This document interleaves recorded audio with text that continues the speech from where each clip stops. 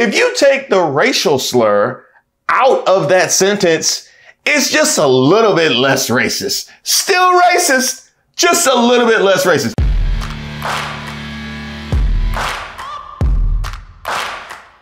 Welcome to Racist of the Week. My name is Reese Waters. This is where we expose the stupidity and hypocrisy of discrimination in hopes we can build a more perfect union. And also laugh. As usual, I would like to thank today's sponsor, Racism. And don't forget to like and subscribe to the page and definitely leave me any possible suggestions for nominees in the comments. Today's nominee, convicted felon Donald Trump.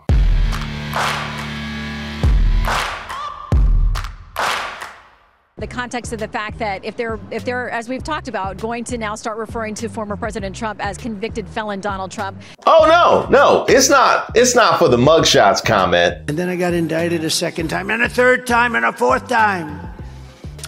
And a lot of people said that that's why the black people like because they have been hurt so badly and discriminated against. Or the bringing two felons on stage to endorse him and appeal to black people. Come on up, fellas. Rapper Sleepy Hallow. They always gonna whisper your accomplishments and shout your failures. Trump gonna shout the wins for all of us. Make America great again. Or even the sneakers. It doesn't even have anything to do with the 34 felonies he was just convicted of. No, no, no. This is a whole nother racism. According to a former producer whose NDA recently expired, there are tapes of Trump dropping N bombs on a contestant of The Apprentice. Trump is accused of using the slur during discussions about the winner of the first season. Now, rumors have long circulated that Trump used the N word during The Apprentice's filming, with many calling for former executive producer Mark Burnett to release the footage. Emmy nominated producer Bill Pruitt, whose NDA expired after 20 years, shared his account with Slate detailing Trump's comments. And if there's a takeaway here, you know, other than the whole Donald Trump being racist, is we need to put some more time on them NDAs. I, I think so. Yeah, I think we've all learned to put a little bit more time on those NDAs. Now, Bill Pruitt recalls a discussion about the final contestant, Bill Rancic, who won the season, and Kwame Jackson, a black man, during the discussion, Trump allegedly asked, Would America buy a N winning? So, not just did he use the slur, he used the slur in the context of, I don't know if America is really going to get behind a black dude winning, you know, a business competition. You know what I mean? I, that just, I think, I think that might be a little too far fetched. Blacks in business, ah, I don't know. You know what? If you take the racial slur out of that sentence, it's just a little bit less racist. Still racist, just a little bit less racist. That's how racist that statement is. That you could you lose the slur and he would still be a nominee for Racist of the Week. Here is the whole exchange. Quote, I think Kwame would be a great addition to the organization, which was said to Trump, who winces while his head bobs around in reaction to what he's hearing and clearly resisting.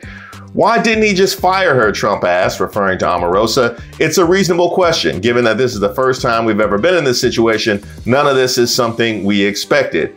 That's not his job, Bienstock says to Trump. That's yours. Trump's head continues to bob. I don't think he knew he had the ability to do that. Trump winces again. Yeah, to no one in particular. But I mean, would America buy an N winning? Kepcher's pale skin goes bright red. I turn my gaze towards Trump. He continues to wince. He's serious and he's adamant about not hiring Jackson. Yep, just as bad as advertised. And the contestant in question, Kwame Jackson, himself gave his opinion of 45 felon previously in case you were wondering about the nature of their relationship. There have been rumors about this story for years, but now we have Pruitt coming forward and saying that he actually heard Trump use that word. have you heard about this before? And what's your reaction to now knowing you were allegedly the subject of that comment? In regards to what he said about the N word, One, let's be clear, he did not say it to my face because it would have gone down much differently. So I cannot verify that he said that. I don't know if the tape exists. I do believe Bill Pruitt. He is a friend, and I'm happy that he finally came forward. I cannot give him a red badge of courage or profiling courage like John F. Kennedy for doing that 20 years later. But we are where we are, and because of that, we are in a situation where we're not asking the right question. It's not whether he called me the N word. The question we should be asking is, because he did call me the N word, what kind of permission structure has been created downstream to make racism flourish in America? But oh yeah, that's right. Tell me again, Maggie Haberman of the New York Times. He's not racist despite the lawsuits and and the ad he took out and not wanting to have a black accountant and dropping N-bombs on people. Cause he once dated a biracial woman and she said so. Don't worry, I'm gonna get to Maggie Haberman soon. Now, the Biden-Harris campaign put out a whole statement in response. Quote, no one is surprised that Donald Trump, who entered public life by falsely accusing black men of murder and entered political life spreading lies about the first black president, reportedly used the N-word to casually denigrate a successful black man. Anyone notice a pattern? Donald Trump is exactly who black voters know him to be, a textbook racist who disrespects and attacks the black community every chance he gets, and the most ignorant man to ever run for president. It's why black voters kicked him out of the White House in 2020. It's why they'll make him a loser a second time this November. You know, it never ceases to amaze me the mental gymnastics that black conservatives will go to to explain why Donald Trump isn't racist. And it's all right there. You ever learn the, the, the closest closest distance between between two points. It's a straight line. It's a straight line of racism from the 70s all the way to 2024. Also points Biden for calling him the most ignorant man to run for president. That was that was pretty strong. Now, Trump himself has consistently denied using the N-word, even addressing the rumors on Twitter in 2018, claiming Burnett told him no such tapes exist.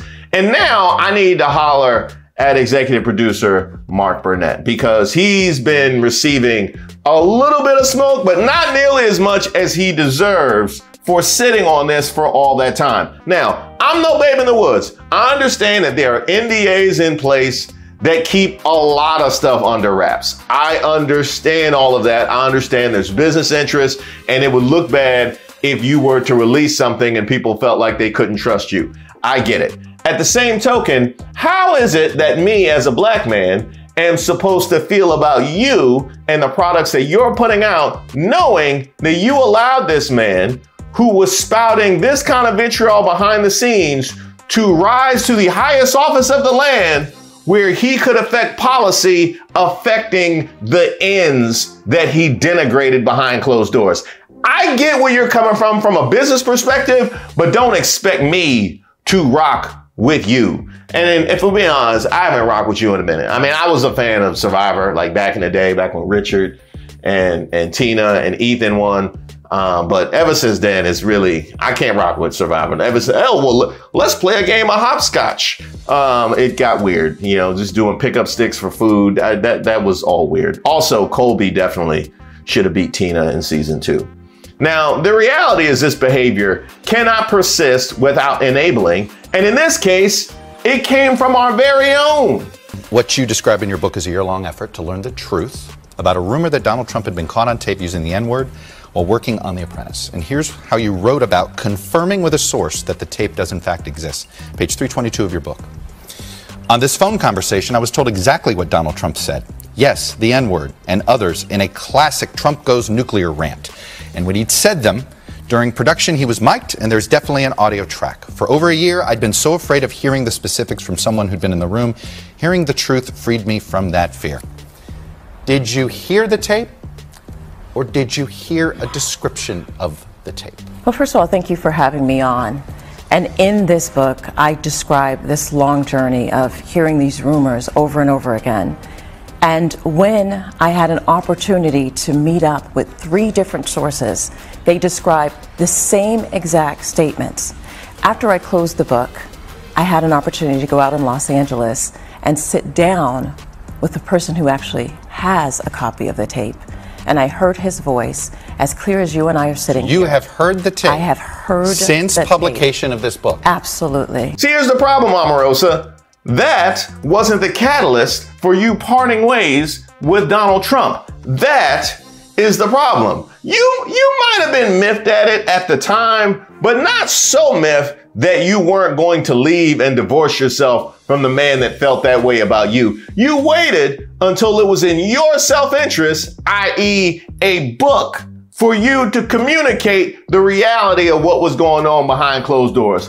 I award you no points, and may God have mercy on your soul. But wait, there's more. I'm trying to find out at least what context it was used in to help us maybe try to figure out a way to spin it. I said, well, sir, can you think of any time that this might have happened? And he said, no. Well, that's not You know, true. how do you So- he goes, how do you think I should handle it? And I told him exactly what you just said, Marissa, which is, well, it depends on what scenario you're talking about. And he said, well, why don't you just go ahead and put it to bed? Here you have not one, not two, but three black women out here discussing how to spin the fact that Donald Trump dropped an N on a black man. And I especially appreciate the question trying to figure out what context he used it and, and exactly how to spin it. That came from Katrina Pearson. So, so what kind of context were possible in your mind for how he could have used it? You thought he might have just been rapping to to to f the police? You you you is Donald Trump somebody that's been known to rap along to NWA and Public Enemy in his spare time? I didn't. I didn't is he a big fan of of doggy style? Like I, I don't I don't understand what context this man could have used that that wouldn't have been problematic. This whole thing is absolutely disgusting. Three black women discussing the man calling a black man the N word. I didn't hear the word disgust. I didn't hear the word unacceptable. Absolutely nothing. And it brings us to a very pertinent point about enabling. Okay. Enabling always goes bad and it looks worse under the light of day because you think if you enable, maybe one day this behavior will turn around. But in reality, you are the one that's greasing the skids for this behavior to continue. It's only going to get worse. And eventually, when that behavior hits the wall, you will have been the one who made all of that possible. Which brings us to today, where I'm listening to audio of three black women discussing how to spin Donald Trump dropping an N bomb on Kwame. But congratulations to convicted felon Donald Trump. You know what, Mark Burnett, you can get some too. Katrina Pearson, uh, you absolutely can get some too. Since you since you want to protect them so much, since you you want to protect them so much, you protect them in the halls of racists of the week. You are all our racists of the week. Omarosa, uh, you stay on probation for now, but I got I got my eye on you.